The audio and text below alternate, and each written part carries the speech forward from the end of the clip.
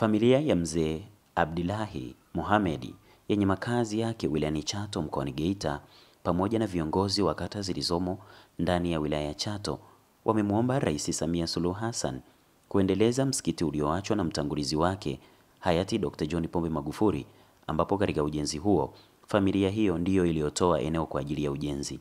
Akizungumza na Ayo TV, mke wa marehemu mzee Abdillahi ambaye ni Jamila Abdi amesema lengo la kutoa eneo hilo ni kujenga msikiti mkubwa utakaowasaidia waumini wa Chato pamoja na maeneo mengine, huku akimwomba Rais Samia Suluhu Hassan kuendeleza msikiti huo. Hii ni Ayo TV na Millard Ayo kutokea wilayani Chato mkoani Geita. Mimi ni Baraka Furujensi. Naitwa Jamila Abdi, mke wa marehemu Abdillahi Mohamed, ambaye tu, kama familia tulitoa eneo hilo la wakfu hayati Magufuli, ndio alianzisha ujenzi. Mpaka sasa kama familia tuna tunajisikia simanzi, uchungu e, hatuwezi kulaumu sana mpango ya Mwenyezi Mungu, lakini jengo limesimama mpaka sasa. Tume, tunaomba mama mama huwa na huruma, tunakuomba mama yetu uendeleze umalize msikiti kwa sababu limekuwa gofu sasa. Kwa jina naitwa Najia TM Saidi, ni mkazi wa Chato. Kwa upande wangu mimi, msikiti wetu ambao alikuwa anatujengea marehemu Magufuli, nilikuwa ninaomba kwa mama yetu Samia Suluhu Hassani atufikirie, atumalizie msikiti wetu, maana ndio msikiti mkubwa tuliokuwa tunautegemea, ila kwa kuwa mama ana mapenzi na sisi, kwa uwezo wake Allah atamfanyia wepesi tunaomba tumalizie msikiti wetu. Yaani msikiti kwa tunautegemea ndio msikiti mkubwa, yani kwa kata ya Chato ndio msikiti mkubwa ambao unaweza ukabeba hata waumini hata elfu mbili hivi. E, kama sikukuu kama hizi tunajumuika, yani misikiti yote tunasalia kwenye huu msikiti mkubwa, katika kuhakikisha kwamba tunaboresha, tunachangia kile tulichonacho katika kujenga, kumalizia msikiti ambao uliasisiwa na Mheshimiwa Rais wetu ambaye sasa hivi ni hayati, kwa sababu yeye aliondoka, lakini sisi bado tupo. Kwa hiyo tunapenda kutumia nafasi hii kwanza kumshukuru Mungu na sisi kama viongozi ambao tumepewa dhamana ya kuwasimamia Watanzania, kwa kweli tunatakiwa tuwaeleze kwamba yako maisha mengine baada ya haya. Kwa hiyo tunapokuwa tunajitahidi katika kufanya kazi ya Mungu inatusaidia, na sisi tunafurahi sana tunapopata nani wananchi ambao wanakuwa na hofu ya Mungu katika maisha yao, inakuwa inaturahisishia sisi katika kuwaletea maendeleo. Kwa hiyo mimi nitumie nafasi hii kuwaomba wadau wa, wa wilaya ya Chato tuunge mkono msikiti huu ambao ulianzishwa na kwa mara ya mwisho alikuwa ni Rais wa Jamhuri ya Muungano wa Tanzania. Kwa umoja wetu, kwa kushikamana kwetu, tuna uwezo wa kufanya jambo hapa kama tutaungana kwa pamoja. Msikiti huu sio kwa ajili ya, ya, ya, ya, ya, ya watu wa Chato peke yake. Msikiti huu ni kwa ajili ya wilaya nzima ya, ya, ya Chato na unaweza ukabeba watu mpaka zaidi ya wilaya nzima ya Chato. Kwa hiyo mimi wito wangu ni kuwaomba wadau walioko mbali na halmashauri ya wilaya ya Chato kusapoti msikiti huu ili uweze kukamilika, kwa sababu utatupa heshima, kwa sababu tunapokea watu wengi wenye imani tofauti tofauti. Kwa hiyo msikiti huu kwa namna ambavyo ulikuwa umeasisiwa una uwezo wa kuweka watu zaidi ya elfu tisa. Kwa hiyo ninaamini tukiukamilisha huko umoja wetu tunaweza tukafanya jambo ambalo baada ya maisha yetu tulionao duniani hata kule mbele tunakokwenda tukawa tumejitengenezea mazingira bora ambayo lazima tu, tu, tuamini Mungu yupo na sisi wengine tuna imani kwamba Mungu yupo na sisi wajibu wetu ni kuendelea kufanya kazi zile ambazo zinamtukuza Mungu katika maeneo yetu. Kwa hiyo mimi wito wangu kwa wananchi wa Chato na nje ya Chato na viongozi wengine ambao na mimi wakati wanaweka msingi wa, wa, wa msikiti huu nilibahatika kuwepo. Kwa hiyo kuna baadhi ya viongozi walionyesha ushirikiano mkubwa, walichangia mpaka hapa kufikia. Ni baadhi ya wadau walioamua kuchangia na kutushika mkono. Kwa hiyo mimi niombe wasiishie hapa, waendelee kutushika mkono. Kazi yetu haijakamilika. Ninaamini kila watakachokitoa hawapotezi. Kwa Mungu huwa hakuna kupoteza, kwa Mungu ni kupata mara mbili. Kwa hiyo niwaombe viongozi wengine waliokuwepo wakati ule watusaidie kuhakikisha kwamba tunawasapoti ndugu zetu Waislamu. Kama sisi wengine ni Wakristo, lakini tumekuja kuhakikisha kwamba tunaunga mkono kazi hii, kwa sababu waumini watakokuwa wakiabudu hapa wote wataendelea kumtukuza Mungu na sisi kama viongozi tutaendelea kunufaika na watu ambao wanamtegemea Mungu katika maisha yao. Watu ndani elfu tatu na watu watakaokaa nje ni elfu sita. Kwa hiyo watu elfu tisa Kwa hiyo nakushukuru sana, nashukuru sana hii taasisi ambayo inafanya kazi kubwa.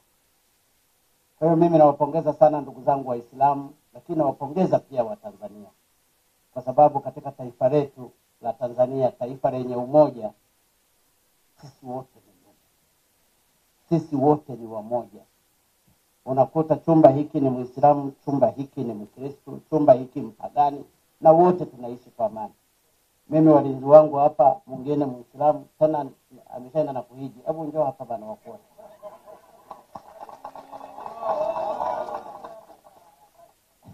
Huyu ni Alhaji, lakini ni mlinzi wangu eh.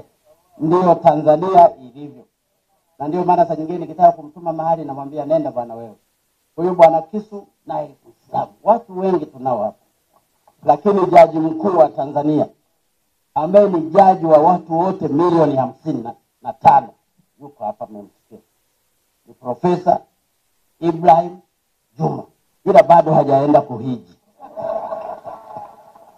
Itabidi na yeye kabla hajamaliza muda wake tumtafutie naye aende akahiji. Lakini huu ndio Utanzania, huu ndio upendo wa Utanzania, na haya ndiyo tunu tulioachiwa na baba wa taifa Mwalimu Julius Kambarage Nyerere. Kwa hiyo mimi nawashukuru sana taasisi hii kwa kuiona tatu na kuja kutujengea msikiti. Nina matumaini makubwa, ndugu zangu watakaoutumia huu msikiti, mtautumia kwa mambo mema, mtautumia katika kujenga Uislamu, mtatumia katika kulitangaza na kuitangaza Qur'ani, mtaitumia katika kuwafundisha watu wengine ili wafate maandiko yaliyomo kwenye kitabu kitakatifu cha Qur'ani. Mimi machache ninayosema tu, nawashukuru sana, nawashukuru sana, nawashukuru sana. Ninaomba ndugu zangu wanachato, ninajua hapa ni thamani yake ni bilioni moja pointi ngapi? Pointi sita.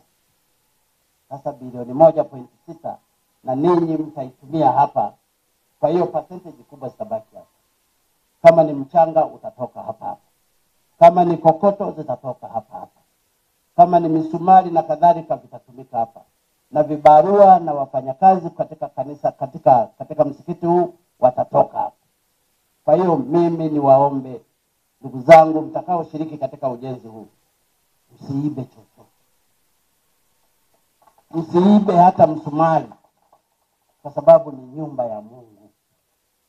Msiibe chochote, ili msikiti huu ukamalizike. Ni mzuri na mimi ningewaomba niwaombe wenzangu hao walionisindikiza na sisi tuchange. Ninaanza na profesa, utachangia kiasi gani hapa? Angalau tuongeze ongeze hapa. Nitawatumia laki mbili mheshimiwa. Hapana, ongeza ongeza profesa. Laki tatu? Hapana, bado haijatosha profesa. Laki tano. Haya, profesa atachangia laki tano. Haya, Mheshimiwa Spika,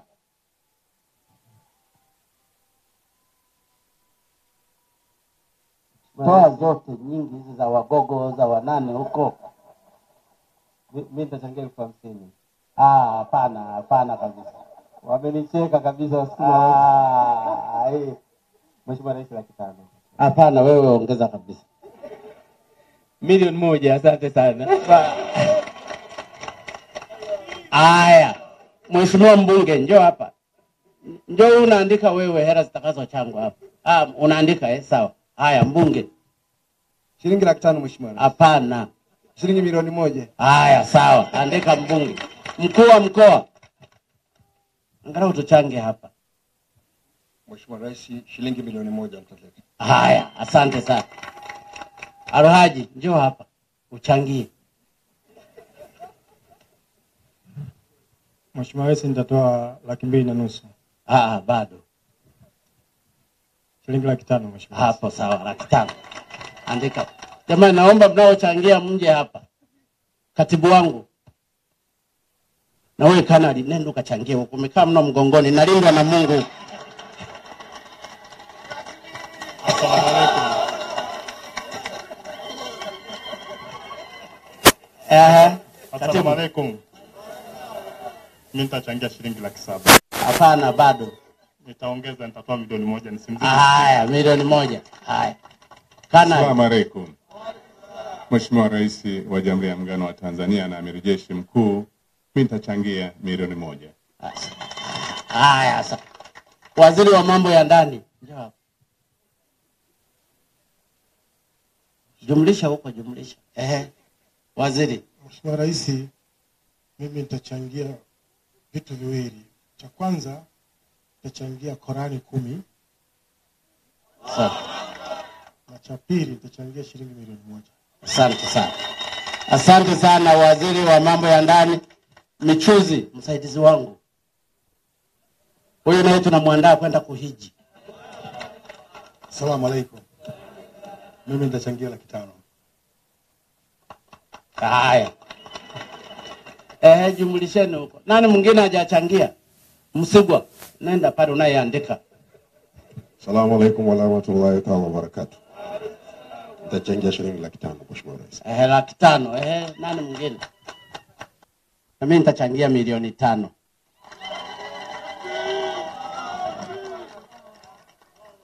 Basi hii taasisi yali eh, ngoja nizikabidhi kabisa. Namkabidhi nani? Wewe hapa hapa. Haya, haya, asante sana.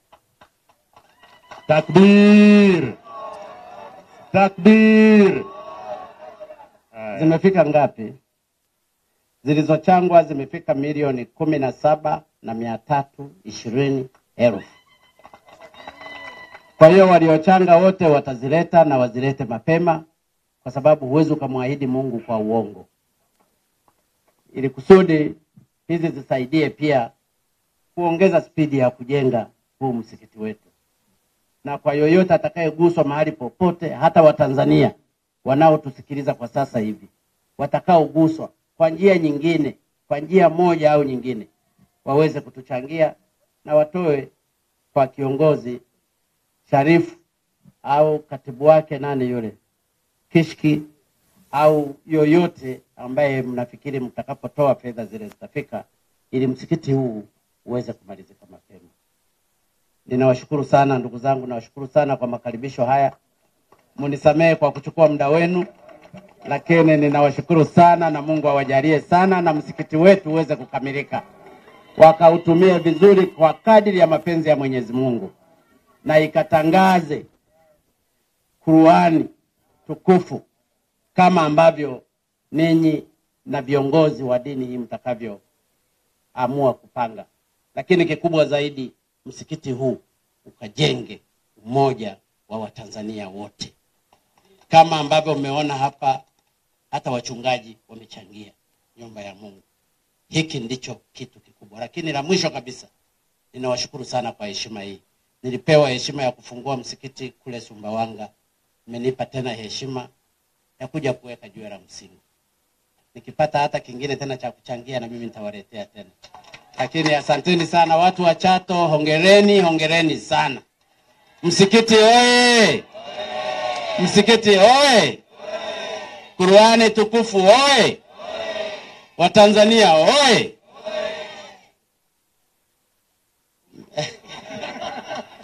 Naam, makofi makofi kwa Mheshimiwa Rais. Naam, Mheshimiwa Rais wa Jamhuri ya Muungano wa Tanzania amemaliza kuweka jiwe